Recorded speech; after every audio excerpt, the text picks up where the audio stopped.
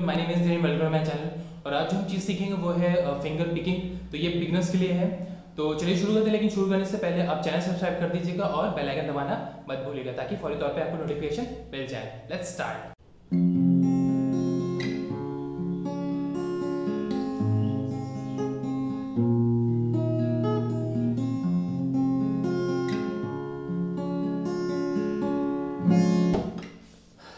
जो आज का लेसन है, वो है फिंगर पिकिंग ठीक है? तो मैं कुछ आपको बेसिक्स जो एक्सरसाइज हैं बेसिक एक्सरसाइज है, वो मैं आपको बता देता हूँ कि फिंगर प्लेसिंग कहाँ पे होगी और पहली जो एक्सरसाइज है वो कैसे करें आप, ठीक है? तो चलिए शुरू करते हैं। तो सबसे पहले इंपॉर्टेंट है आपको कि फिंगर्स आपको कहाँ रखनी है स्ट्रिंग्स पे? कौन सी फिंगर किस स्ट्रिंग के लिए होती है? तो सबसे पहले थम से स्टार्ट करते हैं, ठीक है? तो जो थम है, वो आपकी ऊपर की तीन स्ट्रिंग्स के लिए रहेगा, ठीक है? कोई कॉर्ड पकड़ने की ज़रूरत नहीं है इसमें। ठीक है?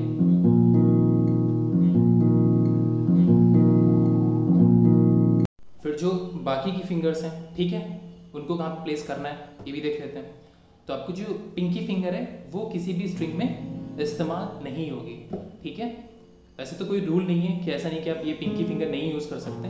लेकिन मैं एज अ बिगिनर जो आपको बताना है, वो इम्पोर्टेंट है कि आपको जो रूल है, उसके हिसाब से बताऊँ। वैसे तो कोई रूल नहीं होता, लेकिन फिर भी ये फिंगर आपको यहाँ पे प्लेस करनी है, ठीक है?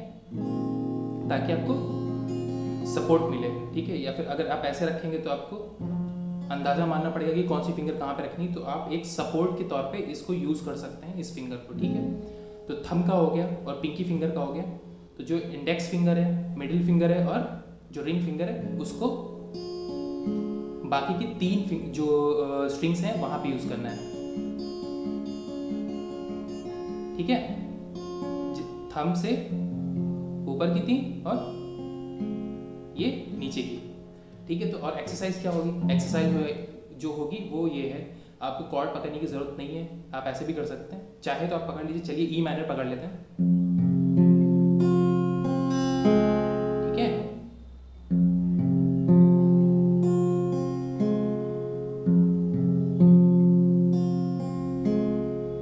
करना है जब तक आपकी स्पीड नहीं आ जाती है।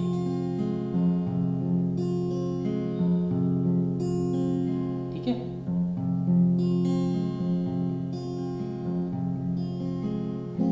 और इसके बाद क्या करना है?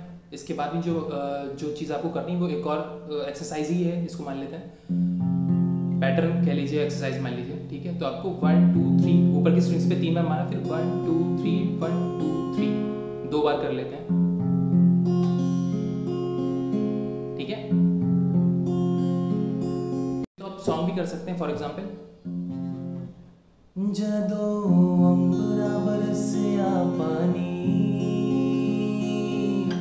मिट्टी दी खुशबू आ मिट्टी दी खुशबू आ मिट्टी दी खुशबू आई।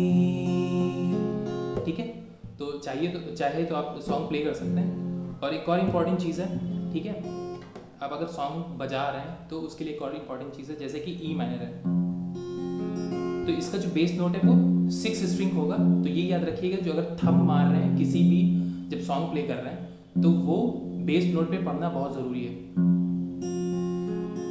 पहला जो स्ट्रोक है, वैसे ही ए माइनर पे।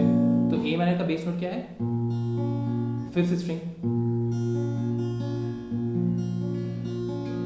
वैसे तो ये भी रूल नहीं है आप लोग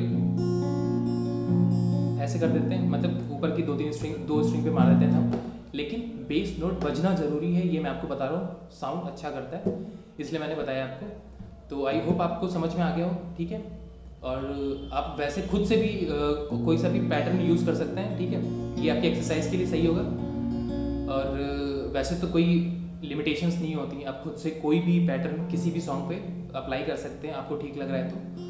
तो सिर्फ़ बिगनर्स के लिए था, ठीक है? तो मैं आगे और जो नेक्स्ट लेसन बनाऊँगा, उसमें मैं आपको चार, पाँच, दो, तीन सॉन्ग्स इसी तरह मैं पैटर्न भी चेंज करता रहूँगा, ठीक है? और आपको बताता रहूँगा नए नए पैटर्न ठीक है?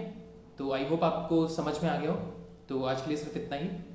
जो मैं वीडियो अगर वीडियो पसंद आए तो प्लीज़ आप इसे अपने दोस्तों के साथ शेयर कीजिए और सब्सक्राइब करना मत भूलिएगा। और हाँ मुझे इंस्टाग्राम पे भी फॉलो कर सकते हैं।